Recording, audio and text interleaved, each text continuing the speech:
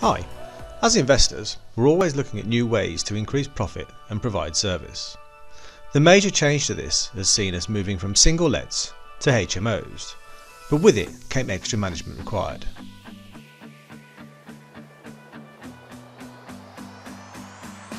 In this video, I will show you how to add and configure a property, whether that be a single let, a HMO, or a commercial property you own or manage.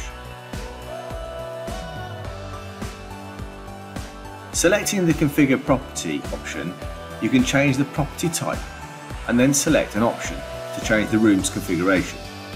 The system has been pre-configured with templates, which can be altered as you wish. You can change how many bedrooms or units and select whether the rooms are for rent or not. You can then amend every unit and make notes, including target rents and also add photos. From the Actions button on the right hand side, you can add a tenant.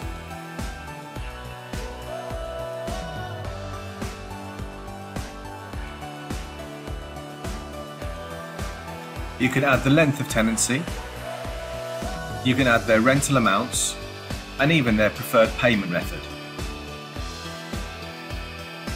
You can also add any bills that are included. But don't forget to upload the documents regarding the assured short hold tenancy, but also the inventory for this unit.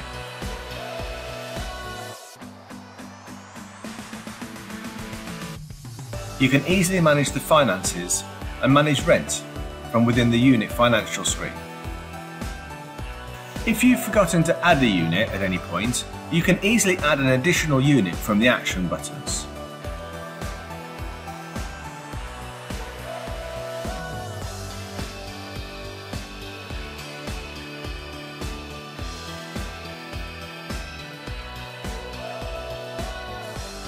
From within the unit screen, you can also see any documents relating to each tenancy or unit. The Financials button on the top menu bar will show you the finances for the property. For an easy way to view the financials per room, simply drag the unit column up to the grey area. This will sort them by unit. The benefit is this can show you the utilisation over a period of time per room. Play around with this area and find a view that you like. Now don't forget to invite your tenants to the platform as they can raise any unit specific issues or chat to you regarding any questions they might have.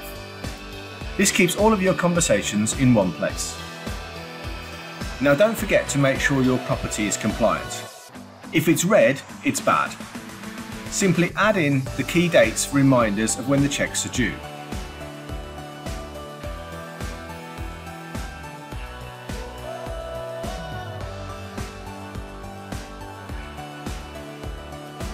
Upload the relevant documents for safekeeping, and protect yourself from any fines and complaints.